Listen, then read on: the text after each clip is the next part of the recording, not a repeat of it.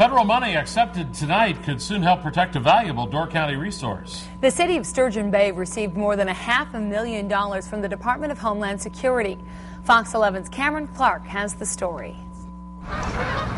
It's emptying out for the year at Center Point Marina, but come summertime, there's a lot of money sitting in the 120 boat slips. The average cost of a boat in our marina is probably equivalent or, or higher than the average home cost of a home in Sturgeon Bay. You know, you're looking at a couple hundred thousand dollars. Add that to shipbuilding and being a port stop for cruise ships and the waterfront. It's a very important part of our economy. Means millions of dollars for Sturgeon Bay. The big threat, especially with our proximity to uh, Canada, is homeland security. Uh, that's another consideration. That combination led the police and fire departments to apply for and get a $650,000 federal grant the majority to be used for an 18 camera security system along the port, monitored by the police department. Over in Marinette, they already have a system like this in place in their harbor, and uh, we went over to Marinette, we took a look at what they had.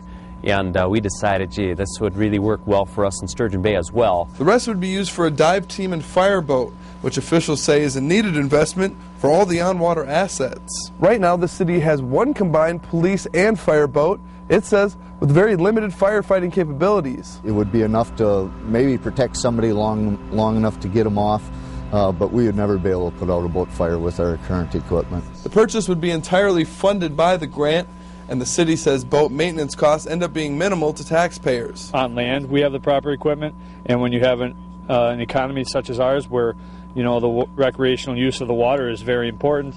I think you need to have that service on the water too. I hope it will help keep an important part of the city's economy afloat. In Sturgeon Bay, Cameron Clark, Fox 11 News. The Sturgeon Bay City Council tonight unanimously voted to accept the federal grant.